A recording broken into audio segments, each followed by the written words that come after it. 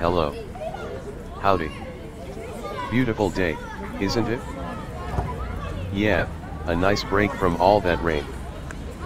Would you mind if I asked you a question? Not at all, what's on your mind?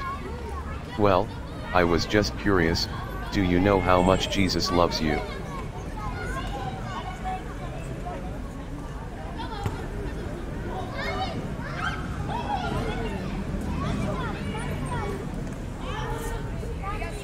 Young man, I am sure that you saw those kids playing in the park right there. Do you see that little boy in the wheelchair? That's my son, he was born that way, and, he will probably die that way. Now, if you can tell me why God allowed this to happen to my little boy, I'll listen to anything you have to say about Jesus, and his love,